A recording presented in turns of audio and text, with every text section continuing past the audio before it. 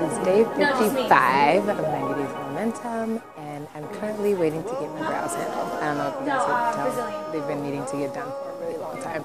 Um, it's New Year's. I hope you guys are having an awesome, awesome last day of 2013. 2014, um, and that you are living rich as you go into the new year, um, and wishing you all a prosperous and happy new year. We'll be seeing what's going on throughout the day. Definitely have to edit some video, um, have to complete jewelry orders from the jewelry sale, um, and send out some emails for um, new possibilities for 2015. Let me know what you guys are up to in the new year. Until later, live rich and happy dream chasing.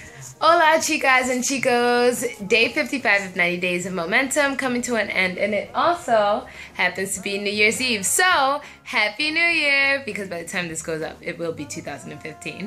Um, I hope you guys had an amazing end of 2014 and that you're stepping into 2015 powerfully, excited, and um, with some really big things in mind and knowing that they can come true and are possible once you like decide to make them come um, possible.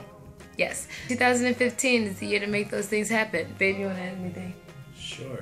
Happy New Year's from the couch, the comfort of our home, just chilling, about to watch a movie, and um, I guess go out there this year and chase all those dreams and make those dreams a reality. 2015 the year of the dream and the dream come true. I don't know. Leave a comment below letting us know what you did. And um, we hope you had a lot of fun and stuff. We're just chilling but we know that some of you guys are out there doing it up. So let us know so we can live vicariously through you.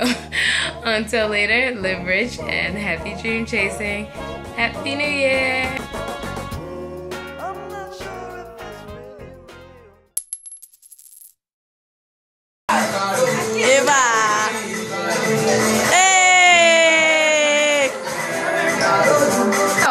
I'm challenging you guys to 90 days of momentum. Set some outrageous goals. Set forth a plan of how you're to get to them and see what type of magic you can create within the next three months.